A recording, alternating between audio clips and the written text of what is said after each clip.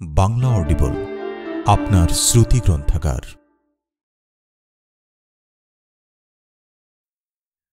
বাড়ির ছোট ছেলে নিখিলের বউ জিনা। নিতান্ত অবসর কাটাতেই জিনার সমাজসেবায় আগ্রহী হয়। সোনাগাছি যৌনপল্লীর একটি স্কুলে পড়াতে শুরু করে। সন্তানহীন জিনার সংসারের বাইরে এই প্রথম পা ফেলা। এখানেই সে আবিষ্কার করে এক নির্মম সত্য। দেখা পায় এক খারাপ ছেলের, যা তার দাম্পত্য জীবনে বয়ে আনে বজ্রাঘাত। কে সেই খারাপ ছেলে? কেন ভেঙে পড়ল জিনার সুখের স্বপ্ন? সেই গল্প নিয়ে বাণী বসুর উপন্যাস, খারাপ ছেলে। আমি শামসুজ্জোহা আমন্ত্রণ জানাচ্ছি পাঁচ পর্বের অডিও বুকের দ্বিতীয় পর্বে।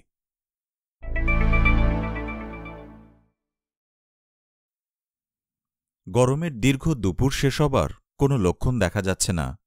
যদিও এখন তিনটে। মুকুটের মনে হল একটা বিরতি নেওয়া দরকার। এশিয়াটিক সোসাইটির রিডিং রুমটাও ফার্নিশ লাগছে। বারোটার একটু আগেই সে টেবিলে বসেছে। ঋত্বিকের আসার কথা ছিল, অথচ এখনও তো এলো না। যা কাজপাগল ছেলে। দেখো, কোথায় আবার কোন কাজে আটকে গেছে। সেই জন্যই সে বাইরে কোথাও মিট করার ঝুঁকি নেয়নি। রোদ্দুরে দাঁড়িয়ে দাঁড়িয়ে মাথা খারাপ হয়ে যাবে। ওই তো ওই তো ঋত্বিক হাতে হেলমেট এদিক ওদিক তাকাচ্ছে। কোন দিকে যাবে বুঝতেই পারছে না। এশিয়াটিকের রিডিং রুমটার সঙ্গে ওর সাক্ষাৎ পরিচয় নেই। মুকুট উঠে দাঁড়াল। খাতাপত্র ফাইলের মধ্যে ভরে নিল, একটা হাত তুলে ঋত্বিককে দাঁড়াতে বলল। বই ফেরত দিয়ে ঝোলাটা সংগ্রহ করতে করতে বলল, কিরে, তোর বাইকে চড়তে হবে নাকি এখন, এই রোদ্দুরে? তাছাড়া কি? আজকে তো সোজা বাইপাস। জায়গাটা তোকে দেখিয়ে আনি। সব ঠিকঠাক হয়ে গেল? সব হয়নি, প্রবলেমটা গিয়ে বলব। এই ঋত্বিক, প্লিজ, পাশে একটা রোলের দোকান আছে, ভীষণ খিদে পেয়েছে, সেই এগারোটায় বেরিয়েছি। নে, নিয়ে নে, ওখানে গিয়ে খাবি। না রে, তখন বিশ্রী হয়ে যাবে, একটু সময় দে। পার্ক স্ট্রিট থেকে ইস্টার্ন বাইপাস নেহাত কম দূরত্ব নয়। তারপর শেষ দুপুর হলে হবে কি? গাড়িতে, বাসেতে এখনও শয়লাভ রাস্তাঘাট। এক একদিন কপাল এমন খারাপ থাকে, পুরো একটা লাল করিডর দাঁড়িয়ে থাকে সারা পথ জুড়ে। তুমি যাও বঙ্গে, লালও যায় সঙ্গে। সুতরাং ওয়ান ওয়ের ভুলভুলাইয়া ঘুরতে ঘুরতে ওরা যখন গন্তব্যস্থলে এসে পৌঁছাল, তখন আকাশ জুড়ে কমলা আলো। জমিটা পাঁচিল দিয়ে ঘেরা। ভেতরে একটা ছোট পুকুর, একটা চালাঘর। গাছের মধ্যে কটা নারকোল গাছ কিছু দেশি আম গাছ, একটা শিশু, একটা তেঁতুল, বকুল আর দুটো মাঝারি শিরিষ গাছ রয়েছে ছড়ানো ছিটানো। মুকুট বলল, এ তো অঢেল জায়গা রে, পুকুরটা নিশ্চয়ই বোঝাবি না, বড় গাছগুলো কাটাকাটি করবি না। ঋত্বিক বলল, মাথা খারাপ, আমার অলরেডি ভাবা হয়ে গেছে, পুকুরটাকে কীভাবে ব্যবহার করব? গাছগুলোর তলা বাঁধিয়ে দিয়ে, বেশ চাতাল মতো করে দিলে, সেখানে বসে ক্লাসও নেওয়া যাবে। ওই বকুলটা দেখ শান্তিনিকেতন? ঋত্বিক হাসল, বলল, শান্তিনিকেতন কে না গড়তে চায়? শান্তি গিয়ে অশান্তিতে না ঠেকে। যাক, চট করে দেখে নে, ঝপ করে অন্ধকার নেমে যাবে। এখানে এইসব আগাছা টাগাছার জন্যে বিশ্রী সব পোকা আছে, কামড়ে যান বার করে দেবে। বাইরে বেরিয়ে উল্টো দিকে ধাবাটা চোখে পড়ল মুকুটের। মাটির উঁচু চূড়োর মতন উনুন। তার উপর বিরাট ডেকচিতে কিছু একটা চেপেছে।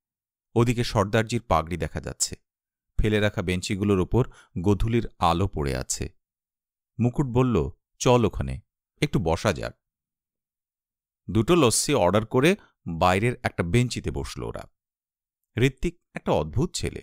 কলকাতা মেডিকেল থেকে ডাক্তারি পাশ করে এফআরসিএস করতে সে ইংল্যান্ডে যায়। কিন্তু সেসব না করে সে সেখানে রেড ক্রসের সঙ্গে জুটে যায়। মুকুট অ্যান্টিএডস প্রোগ্রামে ডাব্লিউএইচওর সঙ্গে কাজ করতে করতে ইংল্যান্ড, মালয়েশিয়া, নরওয়ে হয়ে ইংল্যান্ডে গেলে একটা কনফারেন্সে ঋত্বিকের সঙ্গে আলাপ হয়। ঋত্বিক তখন ঠিকই করে ফেলেছে রেডক্রস ছেড়ে দেবে, দেশে ফিরে আসবে এবং বাচ্চাদের জন্য কিছু কাজ করবে। মুকুটকেও অনুরোধ করে ওর সঙ্গে যোগ দিতে। কর্নেল থেকে ডক্টরের ডিগ্রিটা নিয়ে ডাব্লিউএইচওর সাহায্যে পরিচালিত একটা সংস্থার কাজ নিয়েই মুকুট দেশে এসেছে। দেখে ঋত্বিক ঠিক এসে গেছে, তার যে কথা সেই কাজ। সে অনাথ বাচ্চাদের জন্য একটা প্রতিষ্ঠান খোলবার কাজে তখন মেতে। একটা বাইক এসে থামল। কালো গগলস পরা, জিন্স আর টি শার্ট পরা দুটো ছেলে। দেখে সর্দারজি যেরকম শশব্যস্ত হয়ে উঠল, তাতেই ওদের মনে হল, এনারা স্থানীয় মস্তান হবে। একজন বাইক থেকে নেমে সর্দারজিকে নিচু গলায় কী সব জিজ্ঞেস করল। অন্যজন বাইকে বসেই রইল। একটু পরেই রাস্তা কাঁপিয়ে চলে গেল দুজনে। নিচু গলায় মুকুট বলল, কিরে, তোর শান্তিনিকেতনে এদের উৎপাত হবে না তো? আমি ওই কথাই ভাবছিলাম। কনস্ট্রাকশন শুরু হলেই এসব মাল এসে যাবে। আমার ধারণা ছিল কাছাকাছি লোকালয় নেই। কাজেই এখন দেখছি ধারণাটা ভুল।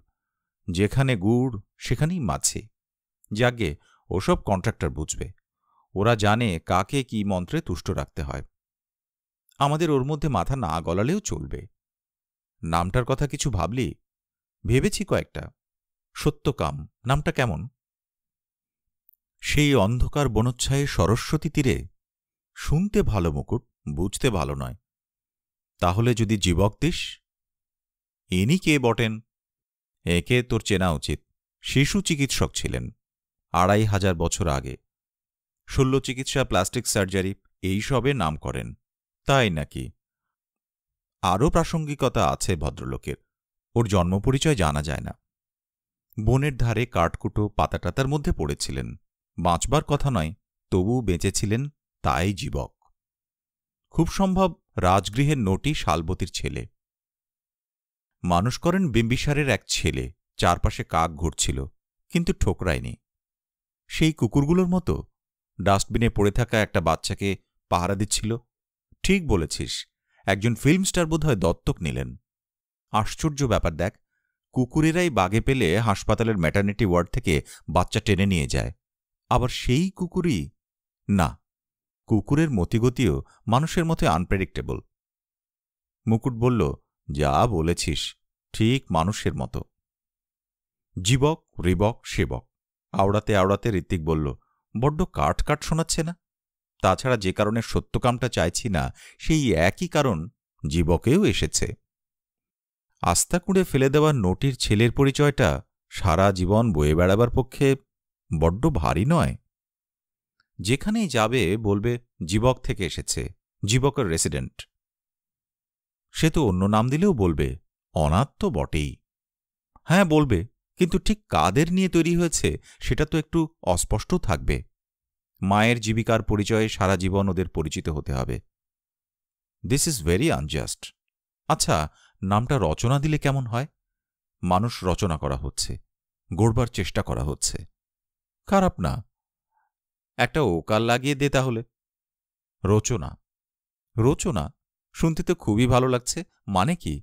রচনা মানে দীপ্তি, শোভা। থ্যাঙ্কস মুকুট। এটাই থাক। সামনে আশপাশে তাকালে কচুরিপানায় ভর্তি। লম্বা লম্বা ঘাসে আর আগাছায় ছাওয়া জলাজমি বেশি দেখা যায় এই জায়গাটায়। দূরে দূরে কিছু নতুন বাড়ির খাঁচা। কনস্ট্রাকশন হচ্ছে। বাজি ফেলে বলা যায়, আগামী পাঁচ বছরের মধ্যে এইসব জায়গায় কংক্রিটের জঙ্গল হয়ে যাবে। চারদিকে এখন ছড়ানো ঝুপড়ি, ন্যাংটা, মাটিমাখা, কাচ্চা বাচ্চা। অপুষ্ট অর্ধনগ্ন এইসব পুরুষ মহিলা পপুলেশন অচিরেই ভোজবাজির মতো অদৃশ্য হয়ে যাবে। কোথায় যাবে? কোথায় যায় স্থানচ্যুত এইসব বাস্তুহীন? এদের কোনো দেশ নেই। প্রথমটা দেখা যাবে এইসব কনস্ট্রাকশনের ভাঁজে ভাঁজে বালির ঝুড়ি নিয়ে গাঁইতি সাবুল নিয়ে ওঠানামা করছে ওরা। যতদিন কাজ চলবে ততদিন। তাতে এমন কিছু সংস্থান করে নিতে পারবে না। কোনো ভূখণ্ডে স্থায়ী আস্তানার কোনো প্রশ্নই নেই। নেই কোনো বিশেষ জীবিকা। পোকামাকড়ের মতো অনিশ্চিত, স্বল্পমেয়াদী জীবন। রাজনৈতিক দলগুলো, জনগণ, মানুষ, এইসব গাল ভরা নামের গৌরবে ওদের ভূষিত করে থাকে ভোটের স্বার্থে। তারপর বাদলা পোকার মতো এ জীবনগুলো কবে কাবার হয়ে যায়? খোঁজ রাখবারও প্রয়োজন কেউ মনে করে না। পুরুষের পর পুরুষ বয়ে চলেছে এমনই। এদের জন্ম দেবার অধিকার কেউ নিয়ন্ত্রণ করে না।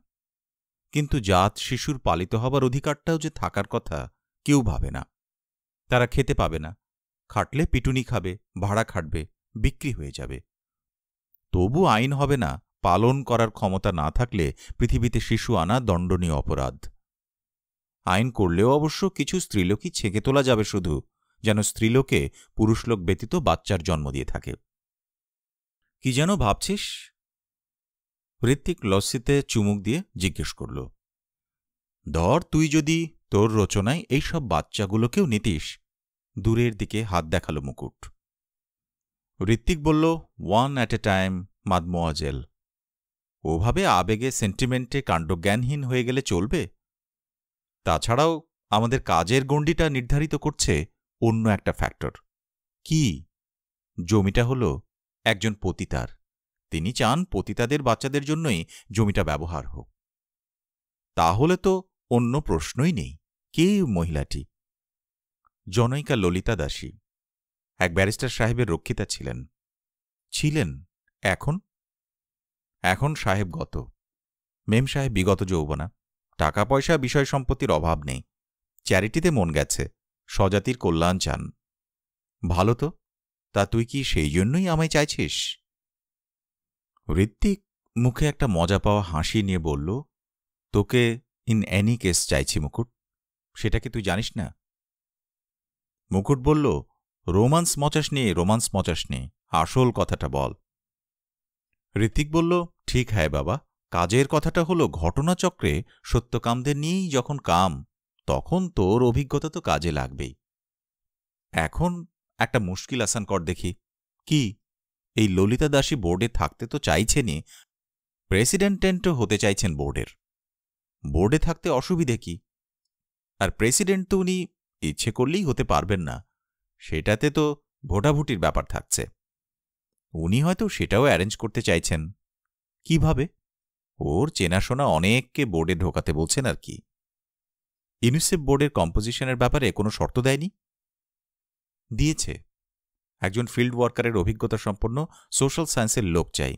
সেখানে তোকে ভাবছি। একজন মেডিকেল বা প্যারামেডিক্যাল পার্সন সেখানে আমি আসছি। একজন মাদারদের প্রতিনিধি চাই, সেখানে উনি ঢুকতে চাইছেন। যদিও উনি কোনোই মাদার নন। এছাড়া তিনজন যে কোনো শিক্ষিত, দায়িত্বশীল নাগরিক হতে পারেন। এখন উনি চেয়ারম্যান হলে এবং সঙ্গে ল্যাংবোর্ড নিয়ে এলে আমি কাজ করতে পারব বলে মনে হয় না। ওকে আমি ছেড়েই দিতাম। কিন্তু তুই তো জানিস, প্রথমে কিছু কাজ এবং কিছু নিজেদের খরচাপাতি, আর্থিক সামর্থ্য দেখাতে হয়। না হলে ইউনিসেফের ফান্ডও পাওয়া যায় না। প্রজেক্ট ইন্টারন্যাশনাল থেকেও কিছু পাওয়ার আশা বৃথা। আমার সঞ্চয় তো আমি সবটা ঢালছি। কিন্তু এই ললিতা ম্যাডামের জমিটা আমাদের কাছে একটা বড় অ্যাসেট। এটাই আমার প্রপোজালের প্রধান অংশ। তুই এদের সাইকোলজি জানবি, অনেক ডিল করেছিস। দেখ না তুই যদি ব্যাপারটা একটু ম্যানেজ করতে পারিস। তা তুই ওকে ডিটেলস বলতে গেলি কেন? ঘোড়েল মহিলা ভাই, তুমি চলো ডালে ডালে, তো উনি চলেন পাতায় পাতায়। ব্যারিস্টারের ব্যাপার, বুঝছ না? আমি খুব চিন্তায় আছি। চলো, আজই চলো তাহলে। কাল থেকে আবার পরপর তিন দিন আমার বউবাজারে কাজ, সময় পাব না। তাহলে দাঁড়া, একটা ফোন করি ওকে। পার্ক সার্কাসে যে ফ্ল্যাট বাড়িটার সামনে এসে ওরা দাঁড়াল সেটা অনেক দিনের। বেশ নাম করা চরিত্রটাও বহুজাতিক। ওরা ঢুকতে ঢুকতেই দেখল একটা ওপেল অ্যাস্ট্রা বেরিয়ে যাচ্ছে। চালাচ্ছেন একজন সিন্ধি বা পার্সি ভদ্রলোক। পাশে যে মঙ্গলীয় মুখের মেম সাহেবটি বসে, তিনি চীনা না করিও বোঝা শক্ত। কয়েকজন হিপি ধরনের বিদেশি খালি গায়ে তাপ্পি মারা শর্টস পরে বেরিয়ে গেল। লিফটে ওদের সঙ্গে উঠলেন একজন তামিল বা কেরলীয় ভদ্রলোক। লিফটের গহ্বরটা ঝুলে ভর্তি। মুকুট বলল, ছিঁড়ে টিড়ে পড়বে না তো? ঋত্বিক কাঁদ নাচাল। সহযাত্রী তামিলের কোনো ভাবান্তর দেখা গেল না। লিফটম্যান অবশ্য বিরক্ত চোখে চাইল। অর্থাৎ উত্তরদেশীয় বা বিহারি দেখতে হলেও সে বাংলা বোঝে। ললিতা দেবীর ফ্ল্যাটে অবশ্য রংচটা কোনো জিনিসই নেই, বরং একটু বেশি চকচকে সবই। ওয়ালপেপার দিয়ে মোড়া ঘর, মাস্টার্ড রঙের কার্পেট হলুদ সোফা সেট, তাতে নীল, লাল, নানা রঙের কুশন। সামনের দেয়ালে আবার একটা বিরাট আয়না। যেখানেই বসুক, আয়নায় অতিথির প্রতিবিম্ব পড়বেই। সামনে আয়নায় নিজের ছবির সামনে বিশ্রী অস্বস্তি নিয়ে বসে থাকতে হয়। বেশ, একটু পরে ওদের পেছনের কোনো করিডোর থেকে আয়নায় ছায়া ফেলে এলেন ললিতা দেবী। অর্থাৎ নিজে যেমন অন্তরাল থেকে অতিথিদের দেখে নেবার সুযোগ নেন অতিথিদেরও তেমনি নিজে আসার আগেই চেহারাটা দেখিয়ে দেন। বয়স তিয়াত্তর, চুয়াত্তর তো নিশ্চয়ই হবে। সাদা চুল, মাশরুম কাট। মাঝারি উচ্চতার আধা ফর্সা মহিলা। কোনো সময় হয়তো সুন্দরী ছিলেন। এখন খুবই প্রসাদিত ও কেতাদুরস্ত একটু মোটার দিকে গড়ন। সুরমা দেওয়া চোখের দৃষ্টি খুব তীক্ষ্ণ। ঋত্বিক বলল, ম্যাডাম, এই হল মুকুট রায়, যার কথা আপনাকে বলেছিলাম। ওর বিদেশে বহু কাজের অভিজ্ঞতা রয়েছে। জায়গাটা ওকে দেখিয়ে আনলাম। উনি বললেন, নাম ঠিক হলো? ভাবছি এখনও ফাইনাল হয়নি। এবার মুকুটের দিকে চাইলেন, পছন্দ হলো জায়গাটা? হ্যাঁ খুব সুন্দর। শহর থেকে বেশি দূরে নয়, অথচ পরিবেশটা বেশ গ্রাম গ্রাম যাতায়াতের অসুবিধে নেই। যাতায়াত কেন? তোমরা ওখানে থাকবে না? উনি ঋত্বিকের দিকে তাকালেন, তারপর মুকুটের দিকে। না, থাকব কেন? মুকুট বলল, নিয়মিত দেখাশোনার জন্য সুপারিনটেন্ডেন্ট, মেট্রন, এসব ঠিক করতে হবে। বেশ কথা। আমি জনা কয়েক ছেলে মেয়ে ঠিক করে দেব এখন। মুকুট বলল, আপনি কীরকম ছেলে মেয়েদের কথা বলছেন জানি না, কিন্তু আমাদের বিজ্ঞাপন দিয়ে সব ঠিক করতে হবে, নিয়ম মাফিক। বাহ! কর্কশ শোনাল ললিতা দেবীর কলা তাহলে যাদের মঙ্গলের জন্য করা, তারাই কাজ পাবে না? ব্যাপারটা ঠিক তা নয় মাসিমা। আপনি যাদের কথা বলছেন দরখাস্ত করে যদি তারা যোগ্য বোঝা যায়, তো তাদেরও নিতে কোনো অসুবিধে নেই। কিন্তু আমরা তো graduate teachers training Montessori training অন্যান্য কারিগরি ট্রেনিংও খুঁজব। আমি যদ্দূর জানি, কোনো এনজিওই এখন পর্যন্ত সেরকম ব্যাচ বার করতে পারেনি। সে সময়টাই এখনও আসেনি। আমার চেনা পরিচিত কিছু সজ্জন আছেন। আমায় ভক্তি করেন। তাদের পরামর্শ আমাদের কাজে লাগবে। এরাও শিক্ষিত লোক তোমাদের জোগাড় করে দিতে পারবেন। তাছাড়া অ আ ক খ শেখাতে গ্র্যাজুয়েট ট্রেনিং মেনিং দরকার কেন হবে আমি বুঝি না। মুকুট, গ্র্যাজুয়েট ইত্যাদির প্রয়োজনীয়তা বোঝাবার জন্যে একটা বক্তৃতা আরম্ভ করতে যাবে। হঠাৎ ঋত্বিকের গলা শুনে সে থমকে গেল। ঋত্বিক বলছে, আপনার পছন্দ মতো একটা প্রতিষ্ঠান তো আপনি ইচ্ছে করলে চালু করতেই পারেন। আপনার আদর্শ, আপনার ধারণা মতো। সেক্ষেত্রে আমাদের কোনো দরকার আপনার থাকছে না। প্রজেক্ট ওয়ার্ক গ্রান্টের টাকা পয়সার জন্য কাগজপত্র তৈরি, এসবও অপ্রয়োজনীয় হয়ে যাচ্ছে। কিছুক্ষণ চুপ। ললিতা দেবী হকচকিয়ে গেছেন। তার চোখ ঋত্বিকের ওপর স্থির। একটু পরে উনি কেটে কেটে বললেন, তোমার কথা আমি বুঝলাম না, বাছা। বোঝার কিছু নেই, ম্যাডাম। শর্ত সাপেক্ষে আপনার জমি আমি নিচ্ছি না। জমিটা দিলে পুরো ব্যাপারটাই আমাদের হাতে ছেড়ে দিতে হবে। পতিতাদের ছেলেমেয়েদের নিয়ে কাজটা করব, এই শর্তটুকু আমি মেনেছি। কিন্তু এরপর আপনার যদি কোনো রকম মালিকানার ইচ্ছে কন্ট্রোল করবার ইচ্ছে থাকে, তাহলে জমিটা বরং দেবেন না। আমরা যদি ফান্ড আনতে পারি, তাহলে কাজটা করব একেবারে আমার মনের মতো করে, আমার পছন্দ মতো লোক নিয়ে, আমার নিয়মে। প্রত্যেকটা আমারের ওপর কড়া ঝোঁক দিয়ে ঋত্বিক কথা শেষ করল। ললিতা দেবীর মুখ লাল হয়ে গেছে, বেশ উত্তেজিত। বললেন, বেশ কথা। এই যে এত ভদ্রন সজ্জন ব্যক্তি স্কুল হাসপাতাল এসবের জন্য জমি দান করছেন, সেখানে তারা চেয়ার নিয়ে থাকছেন না? তাদের মা ঠাকুমার নামে স্কুলটুল হচ্ছে না? খালি আমার বেলায় নিয়ম আলাদা হবে? জানি। বিনোদিনী দাসীর টাকায় তৈরি হল, কিছুতেই তার নাম হতে দিলে না কেউ। তা সে না হয় ছিল আগেকার দিনের কথা। এখনও আপনি ভুল করছেন। এই শর্তে আমরা তথাকথিত ভদ্র সজ্জনের কাছ থেকেও জমি বা অন্য কিছু নেব না। আপনার কেস আলাদা কিছু না। আমি তো ভেবেছিলাম আমার দিদিমা নিহারিকা দাসীর নামে স্কুলটা হবে, নিহারিকা স্মৃতি। ধরো, তোমরা তো নাম খুঁজেও পাচ্ছ না। একটা নাম আমরা মোটামুটি ভেবে রেখেছি, মুকুট তাড়াতাড়ি বলল। ঋত্বিক বলল, আপনার মা, দিদিমা, এদের নামে প্লাক ওখানে রাখাই যায় কিন্তু নিহারিকা স্মৃতিটিতি আজকাল চলে না। আর এটা তো শুধু স্কুলও নয়। নামটার কোনো অর্থই সেভাবে বলতে বলতে ঋত্বিক উঠে দাঁড়াল। একটি মেয়ে ট্রে ভর্তি খাবার নিয়ে ঢুকলেন। ললিতা দেবী বিমূঢ় ভাব কোনো ক্রমে সামলে বললেন, একটু মিষ্টিমুখ করে যাও অন্তত। ও মেয়ে। মুকুট একটা মিষ্টান্ন তুলে নিয়ে বলল, এই নিলাম, ঠিক আছে মাসিমা? ঋত্বিক শুকনো গলায় বলল, আমায় ছেড়ে দিন প্লিজ। এমনিতেই আমার খুব অনিয়ম হয়ে যায়। ললিতা দেবী তার দিকে তাকিয়ে রইলেন, কিছু বললেন না।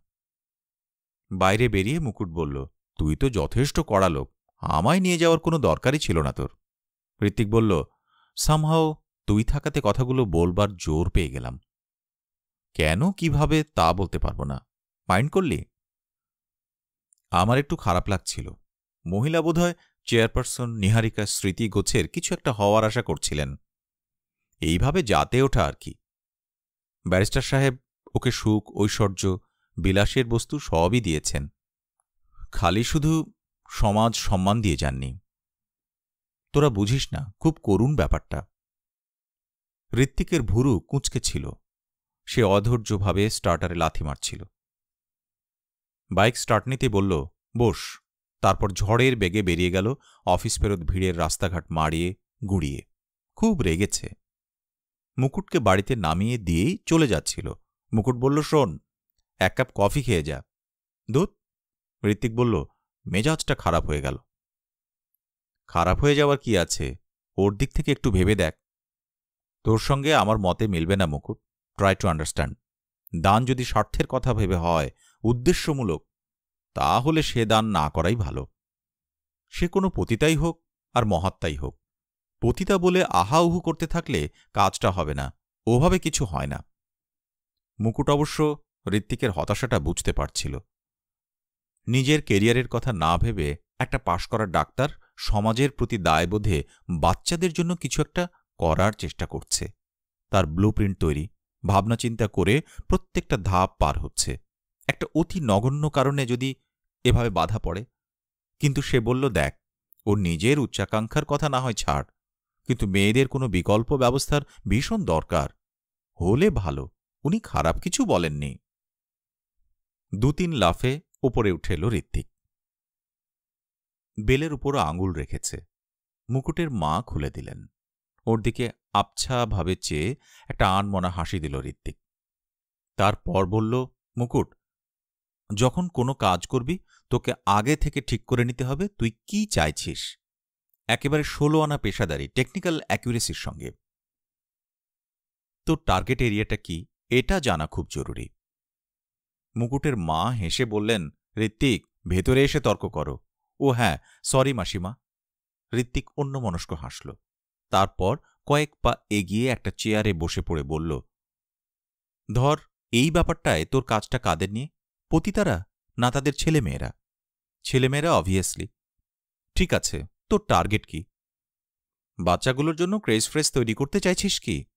ব্যবসার সময় ওদের জমা রাখা যাবে বলে? ব্যবসার সময় রাস্তায় লুটোপুটি খাবে না, বিরক্ত করবে না, ওষুধপথ্য পাবে, এই? না রে বাবা, ওদের মানুষ করে তুলতে চাইছি টোটাল এডুকেশন যাতে বড় হয়ে অন্য স্ট্রিমে যায়। প্রস্টিটিউশন ব্যাপারটার সঙ্গে একেবারে যুক্ত না থাকে। রাইট তা সেটা কি শুধু অ, আ, ক, খ শেখালেই হবে? তার জন্য একটা সুস্থ, স্বাভাবিক, সামাজিক পরিবেশ চাই, না চাই না? সেখানে যদি এই প্রফেশনের ঘুণ কেউ এসে এদের সুপার হয়ে বসে যায়, পরিবেশটা মাটি হয়ে যাবে না? মানুষ তার পরিবেশকে সঙ্গে নিয়ে ঘুরে মুকুট।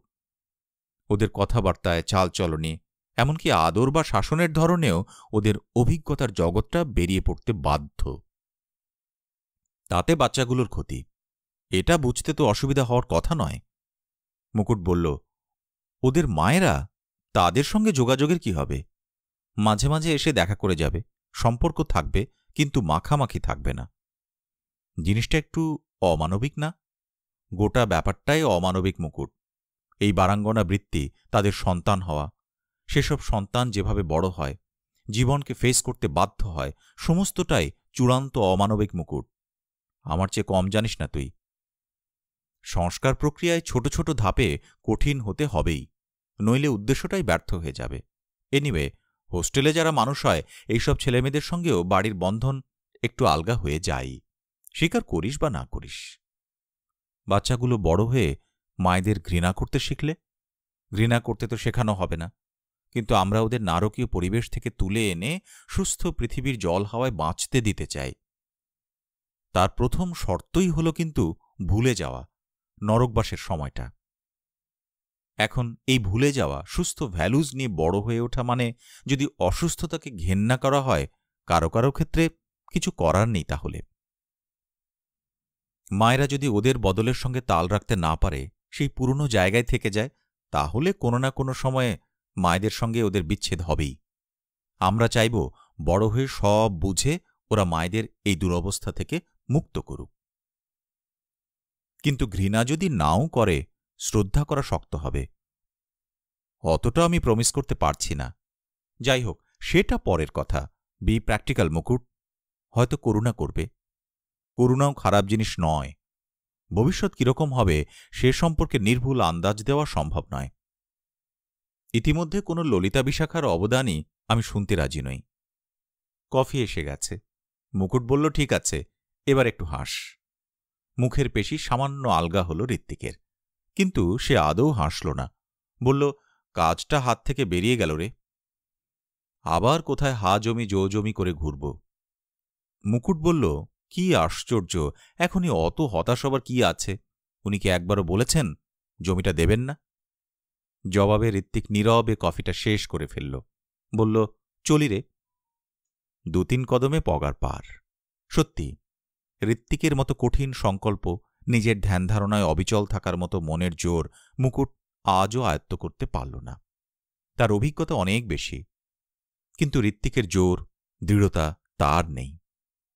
ভাবা যায়, এফআরসিএসটা কমপ্লিট করল না, জাস্ট ওয়েবসাইটে ভারতীয় শিশুদের উপর কতগুলো ছবি আর ডেটা দেখে। তিন দিন, তিন রাত নাকি খালি পায়চারি করেছে আর ভেবেছে। তারপর সেই যে নিজের পথ ঠিক করে নিয়েছে আর এক চুলও নড়েনি।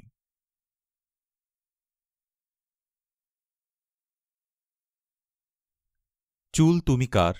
আগে ছিলাম মাথার, এখন মাটির। পার্লারের মেঝে ছড়িয়ে থাকা অসহায় চুলের গোছাগুলোর দিকে চেয়ে জিনার বুক ঠেলে কান্না এলো।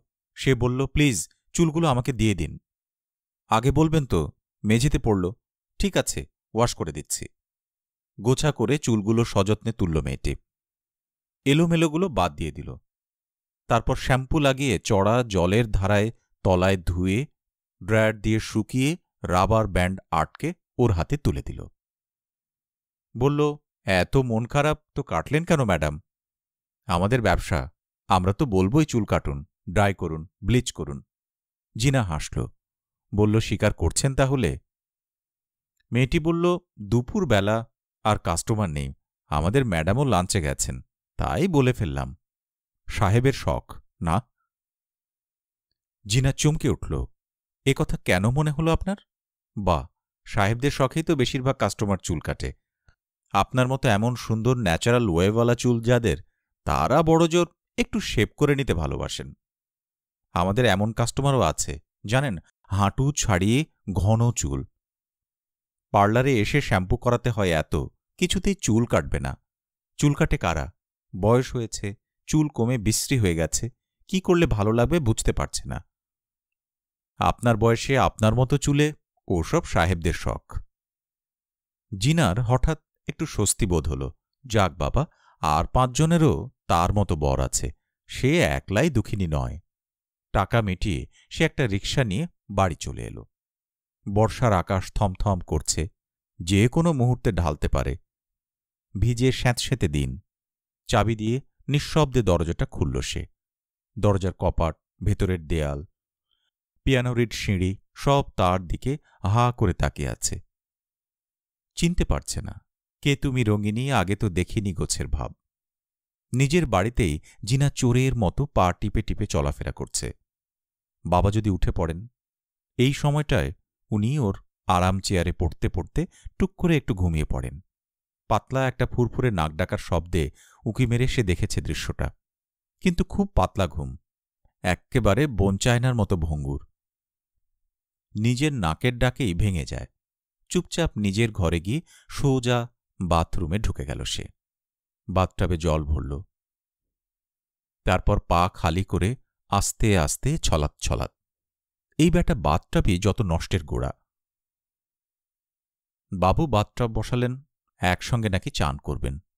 এ মা, ঠিক আছে বাবা, তাই। তাই আয়না বসিয়েছে একখানা মানুষ মাপের। টব থেকে উঠে তাকে যে এড়িয়ে যাবে তার উপায় নেই। একটা লেসের ঢাকা দিয়ে তাকে মোটামুটি ঘোমটা দিয়ে রাখা গেছে। তা এই টবে যুগল স্নান করতে করতে গোছা শুদ্ধ তার চুলগুলো ধরে একদিন মারল একটা টান। এই বাথটবে এরকম চুল মানাচ্ছে না, যাই বলো। কেমন ঠাকুর ঠাকুর লাগছে। এখানে ঠাকুর নয়, মেম সাহেব দরকার। চুলগুলো কেটে ফেলো। মানে? ভেরি অবজেকশনেবল তোমার বাথটবের সঙ্গে ম্যাচ করার জন্যে আমার চুল কাটতে হবে? সাব্বাস, কোন দিন বলবে তোমার মুন্ডুটা বেডরুমের সঙ্গে যাচ্ছে না, তখন কি মুন্ডুটাও ঘ্যাঁচ করে? ঠিক আছে, আর বলব না। আমার ভালো লাগা না লাগায় তোমার যদি কিচ্ছু এসে না যায়, কি আর করা যাবে? অভিমান? বাব্বা, নতুন জিনিস। জিনার গায়ে পুলক লাগে। গ্যাটম্যাট রাগ নয়, লাল চোখ আদেশ নয়, মুখ কোঁচকানো ঘিন্না বা তাচ্ছিল্য নয়। তার বরের অভিমান হয়েছে। পুরনো ইয়ার্কিবিলাসী মন তাকে সুরসুরি দেয়।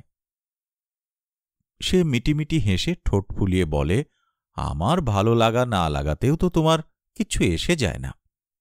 দাও না বাবা তোমার নেয়াপাতিটুকু স্লাইস করে কেটে। ভুড়িতে সে আচ্ছা করে কাতুকুতু দেয়। এই কি হচ্ছে কি হচ্ছে? নিখিল হাসতে হাসতে কেশে ফেলে। জলে খানিকটা খাবি খায়, জল গিলে ফেলে। জিনা বাথরব গায়ে জড়িয়ে লম্বা লম্বা পা ফেলে পগার পার। কিন্তু রোজ যদি একই ঘ্যান ঘ্যান করে, ভালো লাগে? বিনুনি করা কি হাতখোপা করা বাঙালি মেয়ে রান্নাঘরে মানায়, ক্লাবে মানায় না? কেমন ভেতো ভেতো লাগে। কিছু না হোক, চুলগুলো সোজা করে খুলে রাখো। আমার হালকা চুল বাবা, উড়বে। এলোমেলো হয়ে যাবে। চুল খুলে রাখলে আমার ভীষণ অস্বস্তি হয়। কেন? তোমাদের ওই মিসেস শিবদাসানি তো আমার খোঁপার কত প্রশংসা করলেন। বোঝো না, ওটা প্রশংসা নয়। ব্যজস্তুতি? ইয়াস। জিনা কোষে সাবানের ফেনা তোলে, বিজ্ঞাপনের মেয়েদের মতো। আয়না নিজের চেহারা দেখে। নতুন জিনা আর চোখে তার দিকে তাকিয়ে মুখ ভ্যাংচায়। বলে, তুই আর তুই নেই। কত লোকেই তো চুল কাটে। ভালোও দেখায়, নতুন দেখায়। নিজেকে নতুন রূপে দেখবার জন্যই তো এত কাণ্ড। জিনার একারই কেন এমন স্যামসনের মতো অবস্থা? মাথাটা হালকা লাগছে। মান, মর্যাদা, গরিমা, সবকিছুই কেন হালকা লাগছে? বাইবেলে গল্প আছে, স্যামসনের চুল কাটলে শক্তি কমে যেত। তারও নিজেকে কেমন বলহীন, সত্যিকারের অবলা লাগছে। বিয়ের সময় শুনেছিল, এই চুলই নাকি বিশেষ পছন্দ হয়েছিল নিখিলের। সে যখন খোলা চুলে পেছন ফিরে চলে যাচ্ছিল, সেই দৃশ্য নাকি নিখিলের চোখে লেগে আছে। চিরকাল থাকবেও। জিনা এমনিতে নিজের কোনো বিশেষ অঙ্গের প্রশংসা শুনতে ভালোবাসে না। তার কেমন অস্বস্তি হয়। কেউ যদি বলে, ইস জিনা, তোর হাতগুলো কি সুন্দর। দেখিস আবার, হাতগুলোকে আমি ভেবে বসিস না। যখন ষোলো সতেরো বছর বয়স কে এক বন্ধু হা করে তার দিকে তাকিয়ে আছে। কিরে আমাকে দেখছিস? তোর স্কিন দেখছি। কি মাখিস রে? ব্রণ উঠলে ডাকবো, দেখে যাস, জিনা রাগ করে বলেছিল। এ এক অদ্ভুত বিদঘুটে ছেলেমানুষই নিজের অঙ্গপ্রত্যঙ্গকেই নিজের প্রতিদ্বন্দ্বী ভাবা। কিন্তু নিখিল যখন প্রথম বিয়ের পর তার চুল নিয়ে আদিক্ষেতা করত, তার খারাপ লাগেনি। যেন গোড়ার থেকে জানাই ছিল, তার থেকে প্রায় বারো বছরের বড় এই লোকটা তাকে খণ্ড খণ্ডভাবে ছাড়া দেখতে পাবে না। হাত, পা, চুল, নাক, কান, বুক এসবের ক্যালাইডোস্কোপ। কিন্তু সেই চুলই অমন নির্মমভাবে কেটে ফেলতে বলল, তার মানে কি ও খণ্ড থেকে শেষ পর্যন্ত জিনার সামগ্রিকতায় পৌঁছাল, নাকি সমগ্রকে দেখতে পেল না? আবার খণ্ডও গেল। এই জাতীয় কিছু অস্পষ্ট ভাবনা তার ভেতরে কাঁকড়ের মতো ফুটছিল। নতুন চুল আঁচড়াতে আঁচড়াতে তার মনে হচ্ছিল, এই খুশি করার কি কোনো শেষ নেই? খুশি থাকো, আমার পানে চেয়ে চেয়ে খুশি থাকো। এই তো ছিল তার মনের মনোভাব। মানুষটা রাগী, জটিল, খেয়ালি, দাম্ভিক, আত্মকেন্দ্রিক। ঘটনাচক্রে যদি এমন মানুষের সঙ্গেই জড়িয়ে পড়তে হলো তাকে, কুছ পরোয়া নেই। মতিঝিলের নাগিনী ওতে ঘাবড়ায় না। যাতে খুশি থাক খুব অদেয় না হলে তাই দিচ্ছি।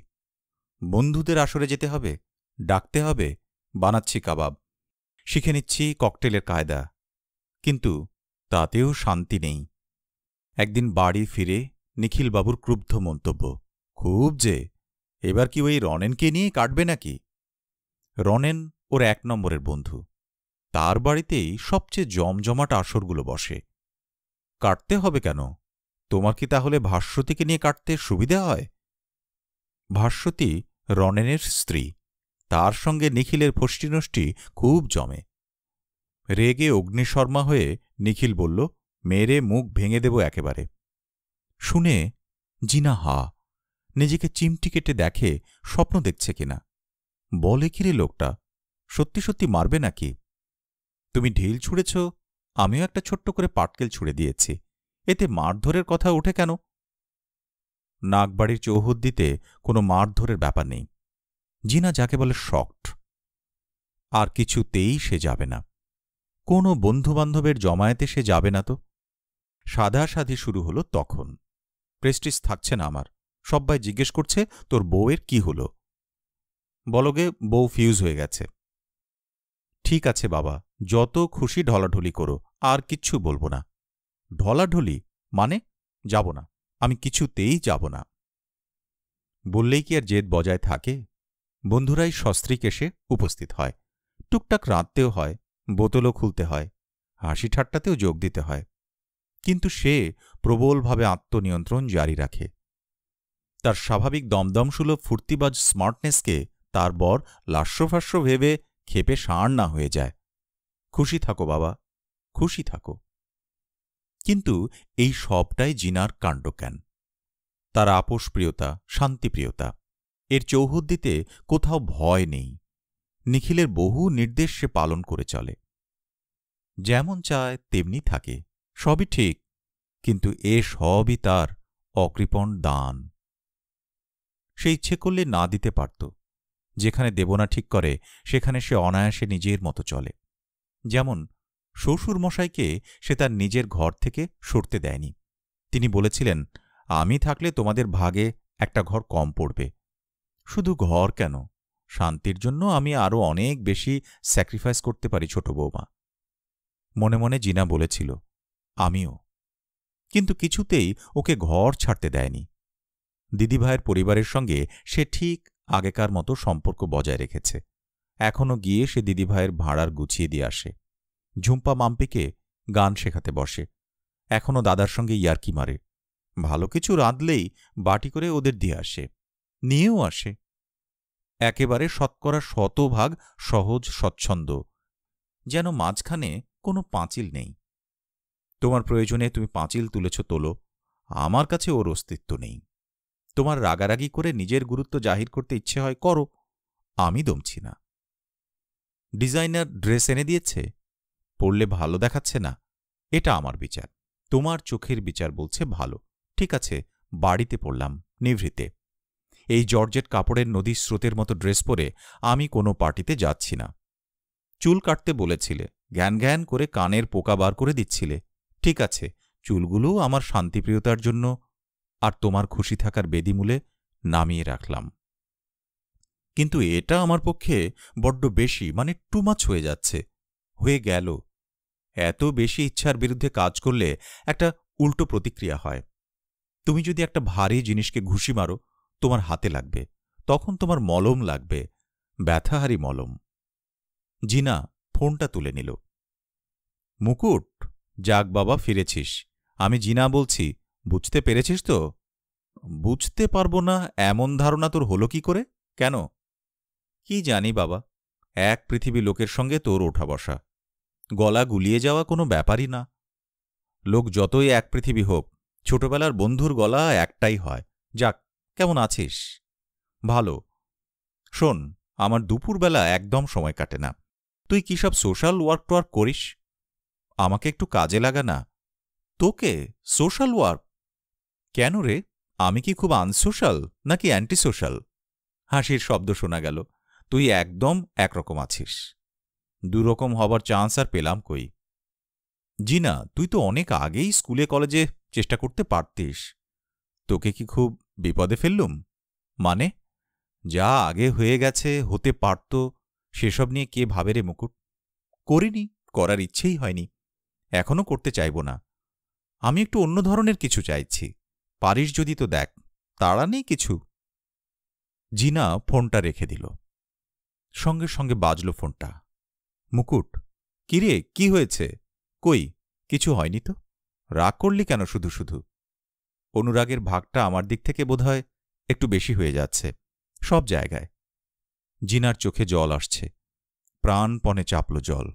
গলায় আসতে দেওয়া যাবে না। মুকুট বলল, কাল যাব, থাকবি তো? কোথায় আর যাব? ঠিক আছে, কাল কথা হবে। ফোনটা রেখে দিলে মুকুট বারান্দায় এসে বসল। বৃষ্টি নেমেছে। ঝমঝম করে না হলেও ঝিরঝিরিয়ে বলা যায় না। একটু একটু ছাঁট এসে গায়ে লাগছে। এইভাবে বৃষ্টি গায়ে লাগলে খুব আরাম লাগে। চেয়ারের পিঠে মাথা হেলিয়ে রেখে বারান্দার গ্রিলে পা দুটো তুলে দিল সে। আজ মুকুট পৃথিবীর কাহা কাহা মুলুকে একলা একলা কাজ করছে। কত দায়িত্ব তার, কত গুরুত্ব। আর জিনা, দুপুরে কি করবে ভেবে না পাওয়া কর্মহীন অবলা। কিন্তু দমদমের যে স্কুলে পড়তে গিয়ে ওর সঙ্গে ভাব, সেখানে ওদের ভূমিকা ঠিক উল্টোটা ছিল। জিনা ঝকঝকে স্মার্ট করিতকর্মা ক্লাস মনিটর। আর মুকুট, ভিন্ন স্কুল থেকে আসা ভ্যাবাচাকা একটা মোটা সোটা গোলগাপ্পা মেয়ে, যাকে সবাই মিলে উঠতে বসতে র্যাগিং করছে। বাবা তখন সবে কলকাতায় বদলি হয়েছেন। ওরা থাকে এয়ারপোর্টের কাছে। মুকুট ছিল ভীষণ লাজুক। নতুন স্কুলে তার একদম ছোট করে ছাঁটা চুল। ভালো মানুষ ভালো মানুষ, গোল মুখ আর থতমতো ভাব নিয়ে সবাই যত মজা পাচ্ছে, সে ততই গুটিয়ে যাচ্ছে। টিচাররা পর্যন্ত নিষ্ঠুরভাবে তাকে প্রশ্ন জিজ্ঞেস করেছেন এবং সে বলতে পারছে না। জিনা তার প্রতি যে কি শুভ দৃষ্টি দিল, ঈশ্বর জানেন। তার মধ্যস্থতায় পুরো ক্লাসের সঙ্গে মুকুটের সম্পর্ক সহজ হয়ে গেল। জিনাদের সেই বিশাল বাড়ির কথা ভোলা যায় নাকি? বাবা এয়ারলাইন্সে কাজ করেন? ও মা। ও দিদি, দেখো, জিনুর বন্ধু এসেছে। এইটুকু বয়সে এগারো বার প্লেনে চড়েছে। জিনার এক কাকিমা চেঁচিয়ে ঘোষণা করলেন, আমি একবারও চড়িনি। তারপরেই তার খেদক। সঙ্গে সঙ্গে লুচি, রাবড়ি, আলু ভাজা এসে গেল। জিনার যেসব দিদি দাদাভাইরা বাড়ি ছিল, সব্বাই ভাব করে গেল। মুকুট জিনার এই জুটি গ্র্যাজুয়েশন পর্যন্ত অটুট ছিল। তারপরেই দুজনের পথ আলাদা হয়ে গেল। জিনা রয়ে গেল আশুতোষ বিল্ডিংয়ে, মুকুট চলে গেল রাজাবাজার তখনও যোগাযোগ ছিল, কিন্তু মুকুট ক্রমশই জড়িয়ে পড়ছিল তার কাজে। চলে গেল প্রথমেই থাইল্যান্ড। সেখান থেকে মালয়েশিয়া, নরওয়ে কত দ্রুত, কত কি শিখল। তারপর গেল স্টেটস। তার মামা গ্যারান্টার ছিলেন আরও সুবিধে। মাঝখানে লন্ডনে কনফারেন্সে যোগ দিয়েছে। স্টকহোমে গেছে। সত্যি সত্যি বিপুল অভিজ্ঞতা নিয়ে দেশে ফিরেছে সে। জিনার বিয়ের সময় সে ছিল না। জিনা ফট করে বিয়ে বসে যাওয়ায় সে একটু অবাকই হয়েছিল। এমন নয় যে নিজে প্রেম ট্রেম করে আহ্লাদে গলে গিয়ে জিনা বিয়েটা করছে। ঠিক এই রকম ব্যাপারটা মুকুটের বাড়িতে কেউ ভাবতে পারে না। গলতটা সম্ভবত জিনাদের বাড়ির মনোভাবে, পরিবেশে। ঋত্বিকের সেই পরিবেশ। অনেক কাল পরে কাল বৈশাখীর মেঘ, ঝড় বৃষ্টির মাঝখানে জিনাকে দেখল সে। চেহারায় খুব একটা বদল হয়নি। চোখা ভাবটা একটু ভোঁতা হয়ে গেছে। মোটা না হলেও একটু ভরা ভরা। খুব খাওয়ালো, অনেক হাসল, ফাজলামো করল। কিন্তু কেন যেন মুকুটের ওর বাড়ির পরিবেশ ভালো লাগেনি। এমনিতেই উত্তর কলকাতার পুরনো বড় বড় বাড়িগুলোর মধ্যে কেমন একটা প্রাচীনতা গুমট বেঁধে থাকে। তার মধ্যে অবশ্য পরিবর্তন আনা হয়েছে। ঘরের মধ্যে ঘোরানো সিঁড়ি দোতলায় উঠে গেছে। খুব কায়দা, জিনিসপত্র অনেক। কিন্তু তার মনে হল এই জিনিসগুলোই যেন এখানে মানুষদের ব্যবহার করে, জিনাকে ব্যবহার করে। এই সূক্ষ্ম অনুভূতিগুলো ব্যাখ্যা করে বোঝানো যায় না। জিনার বরের সঙ্গে দেখা হয়নি, ছবি দেখল। বেশ নবকুমার নবকুমার চেহারা, মাংসল মুখ, চকচকে চুল। জিনার যা বললেন জিনাকে চোখে হারায় নাকি? ছ বছর বিয়ে হয়ে গেছে, এখন জিনার একটা বাচ্চা হওয়ার কথা। প্রথম দিনেই এসব প্রশ্ন তো করা যায় না, যতই বন্ধু হোক, কিন্তু প্রশ্নটা তার মনে উঠেছে। দম্পতির উভয়ে চাকরি করলে বাচ্চার জন্মটা অনেকেই পিছিয়ে দেয়। জিনার তো সেরকম কারণ নেই। এবং আজ যেভাবে ও কাজকর্ম চাইছে, দুপুর না কাটার কথা জানাচ্ছে, তাতে মুকুট প্রায় নিঃসন্দেহ বাচ্চা নিয়ে একটা কোনো সংকট এসেছে জিনার জীবনে। তার কাজকর্ম নিয়ে কেউ জিজ্ঞেস করলে মুকুট ভাষা ভাষা উত্তর দিয়ে থাকে। তার কারণ, সে দেখেছে এই সোশ্যাল ওয়ার্ক ব্যাপারটা এখানে বেশিরভাগ লোকই বোঝে না। অনেকে মনে করে এটা ভ্যারেন্ডা ভাজা। ঘরের খেয়ে বনের মোস্তাড়ানো গোছের একটা ব্যাপার। অনেকে আবার ভাবে, এটা একটা মহান কাজ, প্রচুর আত্মত্যাগ, স্বার্থত্যাগ আছে এর মধ্যে। আর বাকিরা ভাবে, এটা একটা চালাকি। সোশ্যাল সার্ভিসের আড়ালে আবডালে অনেক কুকর্ম হচ্ছে। মুখোশের আড়ালে অনাচার। সবগুলোই হয়তো আংশিক সত্য, কিন্তু কোনোটাই যে পুরো সত্য নয়, এটা লোককে বোঝানো শক্ত। সোশ্যাল ওয়ার্ক যে রীতিমতো একটা উপার্জনের রাস্তা আজকাল, পেশাদারি দক্ষতার সঙ্গে উপযুক্ত ট্রেনিংপ্রাপ্ত কর্মীদের দিয়ে কাজটা চলে। এবং সেখানে আবেগতাড়িত নভেলি ব্যাপার স্যাপারের কোনো জায়গা যে নেই। সোশ্যাল ওয়ার্ক করা মানেই যে সন্ন্যাসী সন্ন্যাসিনী হয়ে যাওয়ার দরকার হয় না। এসব আমজনতাকে বোঝানো শক্ত। তার অনেক আত্মীয়ই সভয় তাকে জিজ্ঞেস করে থাকেন বন্যাত্রাণে যাস? ভয় করে না? আমেরিকার জায়গায় জায়গায় তো ফ্ল্যাশ ফ্লাড হয় বলেই শুনেছি। ভয়াবহ টর্নেডো হয় পশ্চিমে। বাপরে সেখানে যেতে হয় তো। এরা ভাবে সোশ্যাল সার্ভিস মানে প্রাকৃতিক দুর্ঘটনা ঘটলেই সেখানে ছুটে যাওয়া। যায়নি শুনে আবার অনেকের মুখে শ্লেষের হাসি খেলে যায়। ভাবটা, দিব্যি গা বাঁচিয়ে চলছ বাবা। এর পরে নিজের কাজের ক্ষেত্র নিয়ে কথা? ওরে বাবা, তাহলে আর দেখতে হবে না। তার অত আলোকপ্রাপ্ত বাবা মা। তাঁরাই কি খুব খুশি? ঋত্বিক, বাচ্চাদের নিয়ে কাজ করছে শুনে দুজনে নিঃশ্বাস ফেলে বেঁচেছে। বুঝলি মুকু, তুইও আস্তে আস্তে ঋত্বিকের প্রজেক্টটাতে চলে যা। এটা অফ করে দে। কেন বাবা? না বাবার ঢোক গেলে। ঋত্বিককে তো তোর সাহায্য করা দরকার। সে তো করছি এর চেয়ে বেশি সাহায্য ওর লাগবে না। ব্যাস, আমার কাজটা আলাদা, আলাদাই থাকবে। মা বলবে, তোর সবেতেই বাড়াবাড়ি। কেন, দুজনে মিলে একটা কি সুন্দর প্রতিষ্ঠান গড়ে তুলবি, এটাই তো ভালো। মুকুট হেসে ফেলে। বলে, এটাও ভালো, বুঝলে তো? কিন্তু সবার চাইতে ভালো নিজের কাজ আর নিজের সুখ। এখন জিনা যে সোশ্যাল ওয়ার্ক করতে চাইছে, সে ওই আত্মত্যাগের সন্ন্যাসীর স্পেশাল ওয়ার্ক? নাকি স্রেফ ঘরের খেয়ে বনের মোষ তাড়ানোর সোশ্যাল ওয়ার্ক? সেটাই কথা। এপার ওপার। মাঝখানে দরজাটা টুক করে খুলে জিনা ওদিকে গিয়ে দাঁড়াল। চুলগুলো খুলে দিয়েছে। গতকাল খালি মাথার পেছনে একটা পুটলি বেঁধে বেঁধে ঘুরে বেরিয়েছে কারও সামনে আসেনি। আজ একটু সাহস বেড়েছে। মন খারাপ কমেছে। মাম্পি! না মানে হচ্ছে মাম্পি এ তল্লাটে নেই। ও কি? ও কি করেছিস রে? সিঁড়ির তলায় মল্লিকা দাঁড়িয়ে ঊর্ধ্বমুখ। একটা সাধারণ করে পড়া নীল খড়কে ডুরে। চুলগুলো পেছন দিকে জড়ো করে একটা না বড়, না ছোট হাতখোপা করা। কয়েকটা ঘুন্টিওয়ালা রূপোর কাঁটা গোঁজা দাঁতে। কপালে একটা সিঁদুরের টিপ। এত সুন্দর দেখাচ্ছে যে হঠাৎ যেন নিঃশ্বাস বন্ধ হয়ে আসে। সৌন্দর্য, সাবলীলতা, অকৃত্রিমতা, কেমন একটা জ্যোতির্মণ্ডল যেন দিদিভাইকে ঘিরে, যার বাইরে সে বোধহয় চির নির্বাসিত সে চেয়ে থাকে রুদ্ধবাক যেন কোনো দেবীর দিকে চেয়ে আছে। সত্যি দেবী কিনা জানে না, আর কারও দেবী কিনা জানে না, কিন্তু তার উপাস্য দেবী। হয়তো শুধু তারই, কেননা ক্রমশই তা ধারণা হচ্ছে সে ছাড়া দিদিভাইয়ের পূর্ণ তাৎপর্য আর কেউই বুঝতে পারেনি। সম্পূর্ণ পরিবারে একটি মোটামুটি সুন্দর সুশ্রী বধূর দরকার হয়। তার উৎস বড় ঘর হলে ভালো, না হলে আরও ভালো। সেক্ষেত্রে তাকে বিনা বাধায় ভোগ করা যায়। বেচারি দিদিভাইয়ের বাপের বাড়ি যাওয়া নেই। দিদি থাকেন সুদূর চেন্নাই।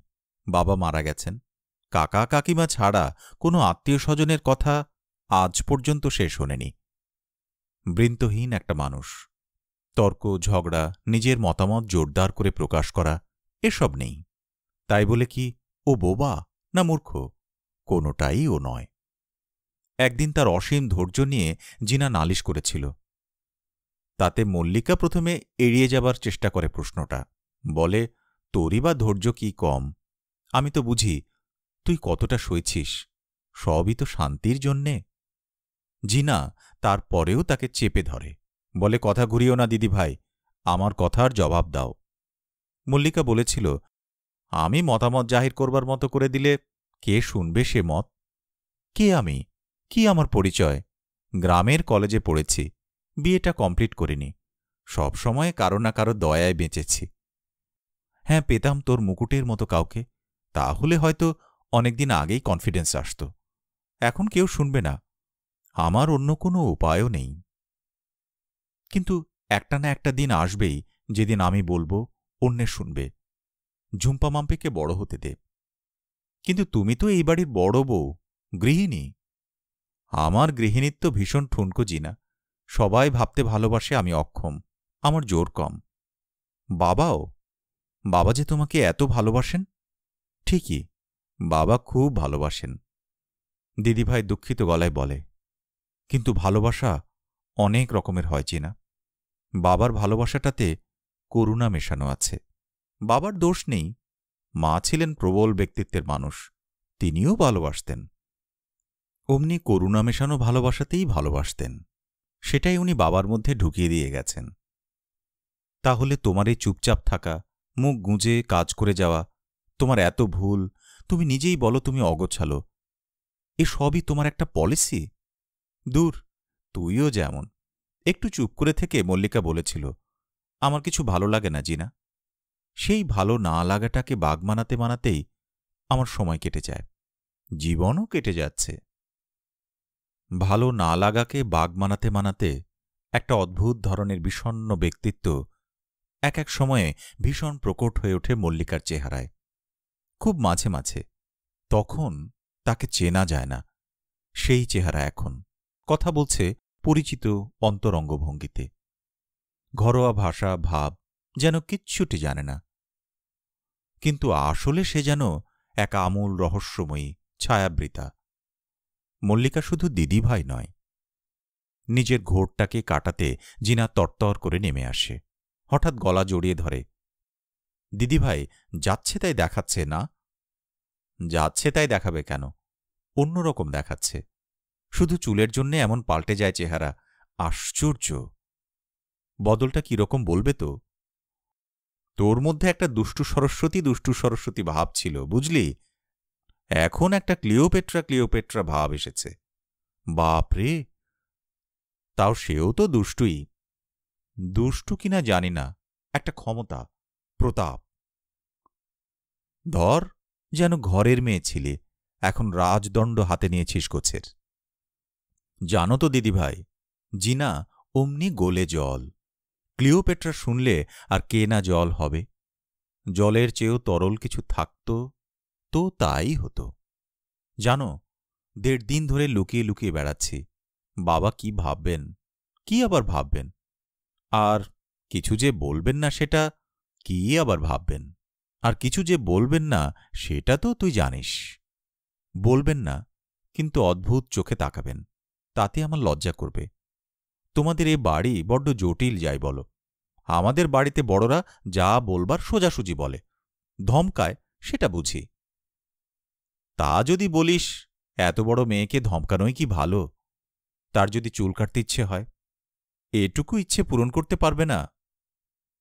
ধমকানো মানে কি আর সেরকম সিরিয়াস কিছু? আমার বাবা হলে বলতো, কদিন আসিস নে আমার সামনে। একটু শোয়ে নিতে দে। জেঠিমা হলে বলতো, এই যে রূপের ধুচু নিয়ে এলেন। এগুলো তো ইচ্ছে বাধা দেওয়া নয়, কিন্তু বেশ স্পষ্ট সমালোচনা। মল্লিকা হেসে বলল, হয়েছে হয়েছে। আমি তো যথেষ্ট সোজাসুজি ধমকালুম, তাতেও হয়নি? তুমি তো আর এবারই নও। কেমন অভিমানে বলল চিনা যাই হোক, দেখো তো, তোমার ফ্রিজে গোটা দুই ডিম আছে কিনা? আমার দেখছি ডিম ফুরিয়ে গেছে। আচ্ছা দুটো কেন? ছটা থাকলে ছটাই দাও, সবটাই করি। বলতে বলতে সে চমকে ওঠে। এই বেল বাচ্ছে মুকুট বোধহয় এসে গেল। দাঁড়াও দিদি ভাই জিনা ছুট লাগাল। মুকুট এসেছে শুনেই মল্লিকার একটা দুরন্ত আহ্লাদ হয়। কেন যে মেয়েটাকে তার এত ভালো লাগে, কেন যে এত আশ্বাস ও সান্নিধ্যে, তা সে বলতে পারে না। আধুনিকা, মুকুট, আগা গোড়া আধুনিকা। সে কি মল্লিকার ইচ্ছা পূরণ? আধুনিকা নানান প্রকারের হয়। সাজ পোশাক প্রসাধনে, চলাফেরায় আধুনিকা একরকম। কথাবার্তায় মতামতে আধুনিকা, সে আরেক রকম। কিন্তু মুকুটের আধুনিকতা একদম স্বাভাবিকভাবে গজিয়ে ওঠা একটা গাছের মতো। প্রথম যেদিন এলো, প্রচণ্ড একটা দুঃস্বপ্নের শেষে জিন্স আর শার্ট পরা। সোজা চুল কানের তলা পর্যন্ত ছেটে নিয়েছে, পায়ে স্পোর্টস শু। হাতগুলো খালি, শুদ্ধ, নির্মল, ঘাম চকচকে মুখটা রুমাল দিয়ে মুছে নিচ্ছিল।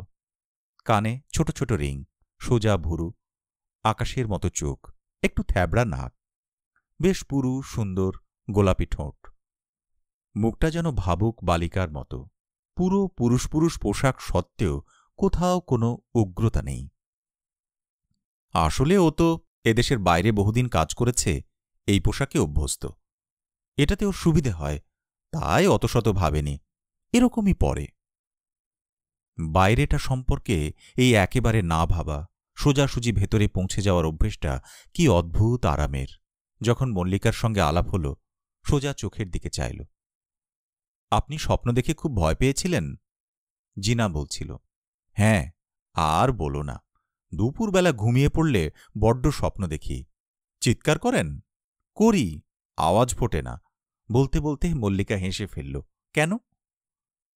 চিকিৎসা করবে। করতেও পারি একটা ব্যবস্থা। হাসি মুখে বলল মুকুট, আমার কিছু ট্রেনিংও আছে কিন্তু। এই জন্যে জিনা ডিম চাইছিল? কি করবে? কি? চট করে ভেবে নিল মল্লিকা। একটা বাটি করে ডিমগুলো নিয়ে মাঝের দরজা দিয়ে সোজা চলে গেল জিনার রান্নাঘরে। ওর ফ্রিজে কি আছে? টমেটো, ক্যাপসিকাম, বোতলের মটরশুঁটি, চিজ, পেঁয়াজ, বাহ, সবই তো আছে। নরওয়েজিয়ান ওমলেট তৈরির ইচ্ছে ছিল বোধহয় জিনার। তো হয়ে যাক। ওদের গল্পের টুকরো টাকরা ভেসে আসছে। তুইও তো কেটেছিস। আরে, বেশ করেছিস। চোখে পড়ল তাই। হ্যাঁ ঠিকই ধরেছিস। একদিন যাব মাসিমার কাছে। তুই নিজে নিজেই চলে যাস না। হ্যাঁ রে, সেবন্তীর কি খবর? এইসব টুপটাপ কথাগুলো চারপাশে ঝরে পড়ছে। এক পৃথিবী থেকে অন্য পৃথিবীর দরজায় মল্লিকা। কফির উগ্র গন্ধে জিনা ছুটে এলো। ও মা দিদিভাই হয়ে গেছে। ওমলেট কাটতে কাটতে বলল মল্লিকা, নিয়ে যা, আমি কফি নিয়ে আসছি। আচ্ছা মল্লিকা দি আমাকে জিজ্ঞেস করবে তো? মুকুট বলল। জিনা, তুই জানবি আমায় কাজে কখন কোথায় ঘুরতে হয়। খিদে পেলেই আমি যেখানেই থাকি, কিছু না কিছু একটা খেয়ে নিই। তাই আমার আলসার হয় না। কফিটা ঠিক আছে। সে কফির কাপটা তুলে নিল। মল্লিকার করুণ মুখের দিকে তাকিয়ে মুকুট বলল, ঠিক আছে, যা রং আর চেহারা তোমার ওমলেটের, একটু না খেলে খেদ রয়ে যাবে। তিনজনেই ওমলেট ভেঙে মুখে দিল। মুকুটের চোখগুলো প্রশংসায় বড় বড় হয়ে উঠেছে। ইস মল্লিকা দিয়ে একটা দোকান দিলে পারো। আজকাল ফাস্টফুডের যা চাহিদা। আগের দিন আপনি বলেছিল, আজকে কত সহজে বিনা অনুমতিতে তুমি বলল। জিনার পথ ধরে যে দিদিভাই বলল, তাও না। মল্লিকাদি সেই স্কুল কলেজের দিনে নিচু ক্লাসের মেয়েরা যেভাবে ডাকত, তাদের ছাড়া আর কখনো কারও মল্লিকাদি হয়নি তো মল্লিকা। হয় বৌমা, নয় মা, নয় মল্লি, নয় দিদি। কতটুকু জগৎটা তার? এখনও কোনো চৌকাট পার হতে পারেনি। মুকুটের মতো মেয়ে সে কখনো দেখেনি। টিভির পর্দায় এই পোশাক কি আর দেখা যায় না? যায়।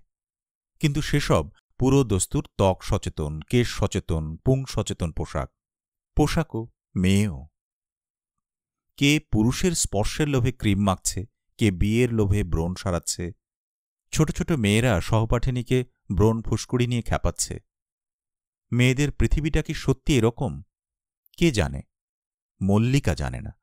তার কাছে বাইরের পৃথিবীর খোলা জানালা তো ওই টিভি স্ক্রিনিং তার অগোচরে কখন পুরো মেয়ে পৃথিবীটা এরকম বদলে গেল? নিজের মেয়েদের দেখে অবশ্য অতটা বুঝতে পারে না মল্লিকা। ওদের স্কুল খুব কড়া। এতটুকু অতিরিক্ত সাজগোজ বরদাস্ত করে না। বড় মেয়ে সদ্য কলেজে ঢুকেছে, আরেকটু স্বাধীনতা পেয়েছে, কিন্তু তার অভ্যেস রয়ে গেছে স্কুলের। শুধু ইউনিফর্মটাই বাদ, সেই টান টান স্কুলে বিনুনি, সেই ঘষা মাজা তেলমুখ, টিপ পড়তে এখনও ভীষণ লজ্জা।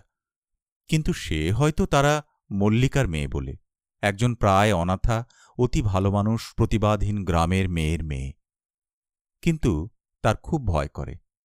হঠাৎ যদি হাফ প্যান্ট পরে চোখ মারছে কোনো পুরুষের দিকে চেয়ে, ওদের বয়সী ছেলেরা, তারাও তো টিভির পর্দায় কেমন বদলে যাচ্ছে। কি সুন্দর নবীন সবুজ ছিল। বেড়ে ওঠা ছেলেদের একটা আলাদা খেলাধুলার জগৎ থাকে, পড়াশোনার ব্যাপারেও, বিজ্ঞান, মেকানিক্স, এসবের আশ্চর্য জগৎটার ভেতর আস্তে আস্তে তারা ঢুকে যায়। মোটর বাইক জড়ো করে মেয়েদের কলেজের বাইরে দল বেঁধে দাঁড়িয়ে আওয়াজ দিতে তাদের নবীন সবুজ পুরুষত্ব ধাক্কা খায় না? লজ্জা করে না? ড্রাগ নেয় কেন? একটা ফ্যাশন হয়েছে, ড্রাগ নেওয়া। এসব আগে করত মস্তানরা। চিরকালই ছিল, কিন্তু একটা আলাদা জাত। সাধারণত যারা বছরের পর বছর এক ক্লাসে পড়ে থাকত, তারাই এসব ড্রাগ ফাঁক খেত। আওয়াজ টাওয়াজ দিত। এখন কি মস্তান ছড়িয়ে চাড়িয়ে গেল সব কিশোরদের তারুণ্যের মধ্যে? নাকি এও বিজ্ঞাপনের তৈরি, ফিল্মের তৈরি একটা ভুয়ো জগৎ? মিথ্যার জগৎ। নিজের সীমাবদ্ধ চলাফেরা দিয়ে সে বুঝতে পারে না। প্লেটগুলো তুলে নিয়ে সে বলল, তোরা কথা বল, আমি আসছি। মুকুট বলল, বসো না, কাজ আছে? জিনা বলল, একটু বসতে তোমার যে কি হয়? কিন্তু মল্লিকা জানে, মুকুট, জিনার খুব বন্ধু। কতদিন বাইরে ছিল যদি বা ফিরে এসেছে, রোজ রোজ তো আর দেখা হচ্ছে না। এদের একটু নিজেদের মধ্যে কথা বলার সুযোগ চাই। সে বলল হ্যাঁ মেয়েরা যে কোনো সময় আসবে, আমি যাই।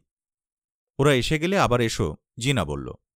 মুকুট বলল, ঘুরে এসো, তোমার সঙ্গে কথা আছে। একটু পরে জিনার দিকে চেয়ে মুকুট বলল, তোর জন্য একটা কাজ ঠিক করেছি। এরই মধ্যে? কেন, তুই কি তৈরি নয়? না রে। আশ্চর্য লাগল, কাল বললুম, আর আজই? মুকুট বলল আমাদের একটা অ্যাডাল্ট এডুকেশন প্রোগ্রাম আছে। দুপুরবেলা যখন ভাত ঘুম দিয়ে মোটা হবার সবচেয়ে রিস্ক তখন ক্লাসটা হয়। কোথায়? এখান থেকে বাস নিয়ে জাস্ট সেন্ট্রাল অ্যাভিনিউ চলে যাবি। ডাইনে হাঁটতে হবে কিছুটা। বাঁ দিকে কয়েকটা গলি পরে দুর্গাচরণ মিত্র স্ট্রিট চিনিস? দূর। আমি এদিকে কিচ্ছু চিনি না। ঠিক আছে, আমি তোকে প্রথম কদিন নিয়ে যাব। বান্ধব সমিতি সাইনবোর্ড লেখা একটা ক্লাব ঘর পাবি। ওইখানেই একটা গলির মধ্যে। কোর্সটা তোকে পুরোপুরি বুঝিয়ে দেবে একজন। ওই অঞ্চলের মেয়েরা, ধর বারো তেরো জন আসবে। জিনা চুপ করে আছে দেখে মুকুট বলল, বাংলা আর ইংরেজি খানিকটা লিখতে পড়তে বুঝতে শেখানো হয়েছে এদের। আর বেসিক অঙ্ক। শহর কলকাতায় থাকে, বাংলা লিখতে পড়তে পারে না, এমন লোকও আছে? মুকুট হাসল, তোদের বাড়িতে কাজ করে যেসব মেয়ে, ওরা ওরা পারে। জিনা বলল, ও ডলিমলি ওরা তো বাবা মানে শ্বশুরমশাই লেখাপড়া শেখান। এরা কে রে? বস্তি টস্তির? মুকুট বলল, না রে, এরা গণিকা, যাকে বলে প্রস্টিটিউট। জিনা, হা। কিছুক্ষণ কথা বার হচ্ছে না ওর মুখ থেকে। শেষে বলল, মুকুট, প্রস্টিটিউট আমি কখনো চোখে দেখিনি রে। কীরকম দেখতে হয়? মুকুট হাসবে না কাঁদবে, ভেবে পায় না। বলে, জিনা, সত্যিই তুই আমায় হাসালি। কীরকম দেখতে হয় কি রে? দুটো হাত, দুটো পা আছে, আমাদের মতোই? ঢোক গিলে জিনা বলল, গল্প উপন্যাসে অবশ্য খুব পড়া যায়। বিকৃত ক্ষুধার ফাঁদে বলে একটা গল্প পড়েছিলাম। আমার গা এত ঘিন ঘিন করেছিল, একটা শিউরে ওঠার মতো ভাব করলে সে। মুকুট বলল, হিঙের কচুরি বলে বিভূতিভূষণের একটা গল্প আছে। খুব সুন্দর। পড়িসনি? জিনা বলল তুই বললি বলে মনে পড়ল। ব্যাপারটাকে এত ক্যাজুয়ালি নিয়েছেন, আমার ভালো লাগেনি, ভালো লাগে না। মুকুট বলল, কথাটা তুই বেশ নতুন বললি তো ক্যাজুয়ালি নেয়া। না, সত্যি দেখ, মনুষ্যত্বের এত বড় অপমান, মেয়েদের, নারীত্বের এত কুৎসিত ব্যবহার, এই নিয়ে লেখকরা বেশ বিলাসিতা করেন। ভালো গল্পের ম্যাটেরিয়াল শরৎচন্দ্রের আধারের আলো, দেবদাসে কীভাবে গ্ল্যামারাইজ করা হয়েছে ব্যাপারটা? আর তার পরের লেখকরা তো রিয়ালিজমের নামে। উফ হ্যাঁ রে, এরা কি নিয়ম করে এদের কাছে যাতায়াত করেন? দূর, মুকুট হেসে ফেলল। বেশিরভাগই ওপর ওপর দেখে কল্পনা থেকে লেখা। অনেকে আবার উপাদান সংগ্রহের জন্য যান। শিল্পী লেখকদের সঙ্গে অবশ্য লালবাতি এলাকার একটা যোগ থাকেও মনে হয়। আমি খুব একটা দেখিনি। উপাদানটা ব্যবহার করে এরা নিজেরা নাম, টাকা পান। আর মেয়েগুলো কি হয়? কিছু হয় না। কিছু হওয়া শক্ত জিনা। একজন দুজনের চেষ্টায় কি হবে?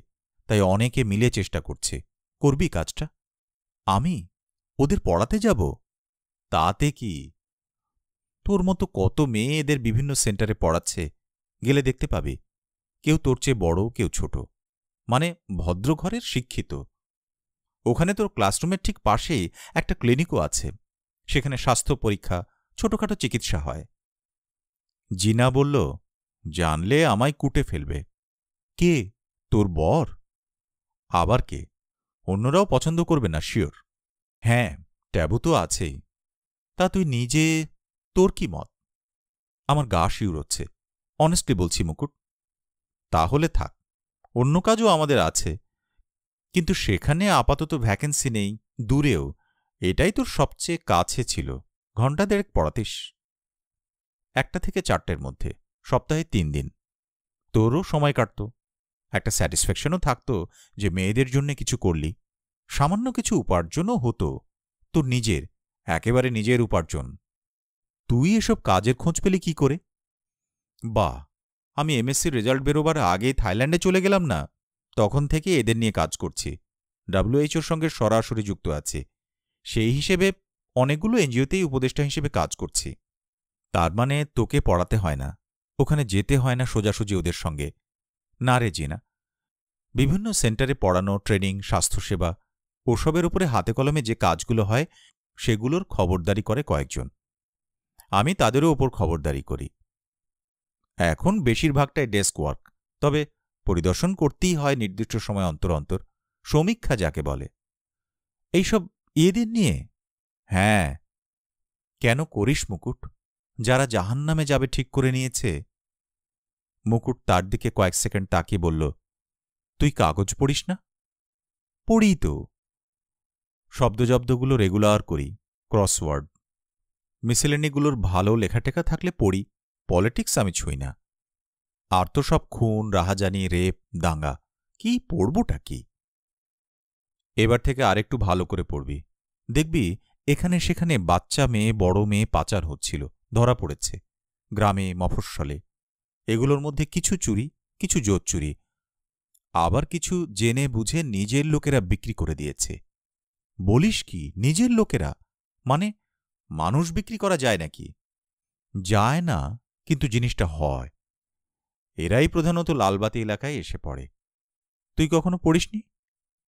ইস, মুকুট, পড়েছি হয়তো, সেভাবে মাথায় ঢোকেনি। শুনে রাখ জিনা দারিদ্র আর অশিক্ষার প্রথম শিকার মেয়েরা। দরিদ্র ঘরে যেই একটা মেয়ে জন্মালো, অমনি তাকে নিয়ে যা খুশি করবার অধিকার জন্মে যায় তার পুরুষ অভিভাবকদের। তার মা ঠাকুমা যারা কর্তৃ পদ আছে, তারাও সেই মতোই আচরণ করে। সবচেয়ে কম খাবার তার জন্য নির্দিষ্ট হয়, সবচেয়ে বেশি কাজ। কোনো সময়ে ভারবাহী পশুর চেয়ে বেশি তাকে মনে করা হয় না। উপরন্তু, এই পশু যেটুকু যত্ন পায়, এরা তাও পায় না। কিন্তু মেয়েরা দুগ্ধবতী গাভীর মতোই লাভজনক। যৌবনোদ্গম হলেই সে যৌন পণ্য, তাকে নানা রকম দামে বিক্রি করা যায়। যত অল্প বয়স হবে, ততই লাভ। ধর ন দশ বছরের। প্লিজ মুকুট। এ কি জিনা? তুই কাঁদছিস? আরে কাঁদিস নে কি ছেলে মানুষ তুই? কত রকমের অত্যাচার, পাশবিক, নৃশংস, চলছে কত কাল থেকে? আর তুই কিছুই জানিস না। ছেলে শিশুদের দিয়েও ব্যবসা আছে। যৌন ব্যবসা, জকি ব্যবসা, ভিখারি ব্যবসা। সেসব শুনলে অজ্ঞান হয়ে যাবি। তোরা এদের জন্য কাজ করছিস? অনেক টাকা পয়সা লাগে তো। কোথা থেকে পাস? জিনা ভিজে গলায় বলল। অনেক সোর্স থেকে আসে বিভিন্ন ধনী দেশ দেয়, অনেক প্রতিষ্ঠান দেয়, ব্যক্তি দেয়। ধর একজন বারবনিতা, তার অনেকখানি জমি আমার এক বন্ধুকে দিয়েছেন এদের ছেলে মেয়েদের জন্য একটা শিক্ষা প্রতিষ্ঠান করতে শেষেরটা বুঝলুম, জিনা বলল। কিন্তু ধনী দেশটেশ দেবে কেন? ওরা তো খালি নিজেদেরটাই বোঝে। কথাটা তুই বললি? হাসি মুখে মুকুট তাকায় জিনার দিকে। কেন? কি হয়েছে? না তুই বললি না খালি শব্দ, জব্দ ক্রসওয়ার্ড এসব করিস? তা তুই যেখান থেকেই তোর এ জ্ঞান সংগ্রহ করে থাকিস যে না, তোর হবে। ঠাট্টা করছিস? না রে, ঠাট্টা করিনি। আসলে জিনা, পৃথিবীটা সরি মানুষ, খুব জটিল আর মিশ্র জীব।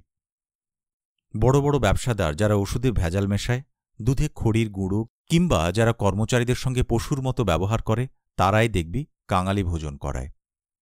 কুম্ভে গঙ্গাসাগরে সাধুদের ভাণ্ডারা দেয়। লঙ্গরখানা খোলে। সবটাই যে পুণ্যের লোভে তা নয়। একটা কীরকম বিবেকে তারাও ভেতরে ভেতরে থাকে। তেমনই যে দেশ নানা পথে নিজেদের মজুদ অস্ত্র বিক্রি করে আমাদের বারোটা বাজিয়ে দিচ্ছে, বাতিল ওষুধ, বাতিল শস্য পাঠিয়ে সংকট সৃষ্টি করছে, তারাই আবার অনাথ শিশুদের কল্যাণের জন্য টাকা দেয়। একেবারে নিঃস্বার্থ। মুকুট, আমার বিশ্বাস হয় না। তুই ঠিকই বলেছিস। গণিকাদের ব্যাপারে ওদের প্রধান স্বার্থ এইডস নিবারণ। এইডস তো পুরো সভ্যতার মৃত্যুদূত হয়ে দেখা দিয়েছে কিনা পিতরা, কালোরা, ব্রাউনরা গেলে হয়তো সাদাদের কিছু এসে যায় না, কিন্তু সাদারাও তো বাঁচবে না, বাঁচছে না। তা এইভাবেই একটার সঙ্গে আরও অনেক ইস্যু জুড়ে যায়।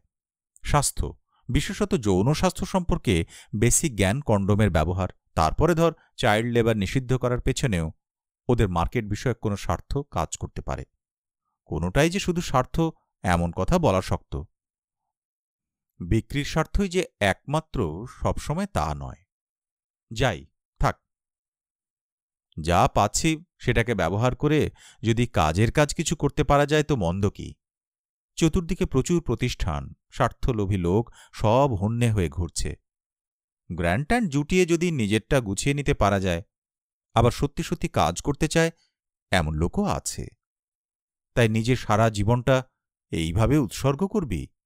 আরে, উৎসর্গ টুৎসর্গ নয়, এটা আমার পেশা। ঠিক যেমন লোকে ব্যাকটেরিয়া নিয়ে, জিন নিয়ে রিসার্চ করে, আমিও তেমন করছি। যে কোনো কাজে পেশাদারি দক্ষতা দরকার হয়, অধ্যাপনা, ম্যানেজমেন্ট, হিসেব নিকেশ, সব কিছুতে।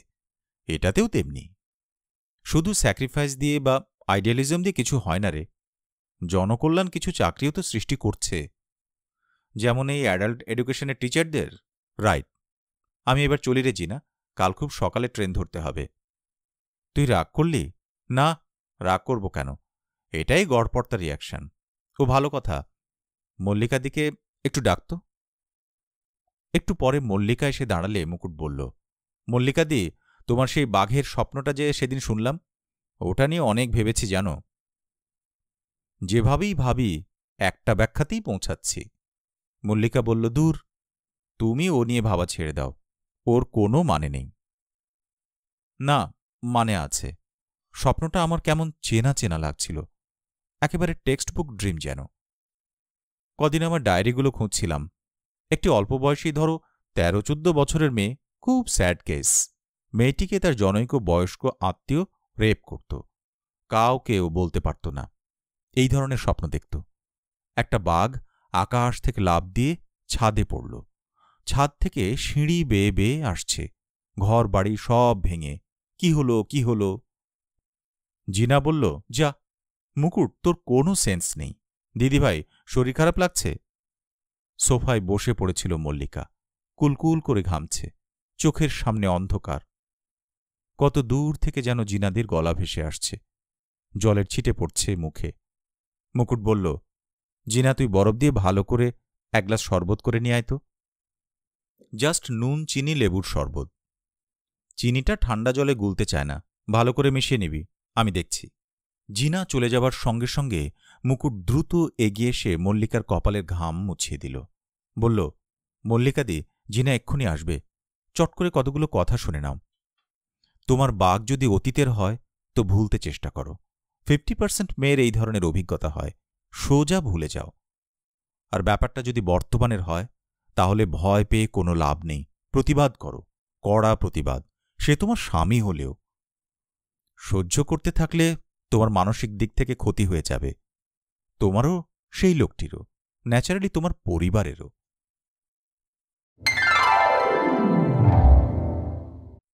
শুনলেন বাণী বসুর লেখা খারাপ ছেলে উপন্যাসটির অডিও বুকের দ্বিতীয় পর্ব। পরের পর্বগুলো শুনতে সঙ্গে থাকুন আমাদের। এছাড়াও নিয়মিত বাংলা অডিও বুক শুনতে সাবস্ক্রাইব করুন আমাদের ইউটিউব চ্যানেল বাংলা অডিবল, আপনার শ্রুতি গ্রন্থাগার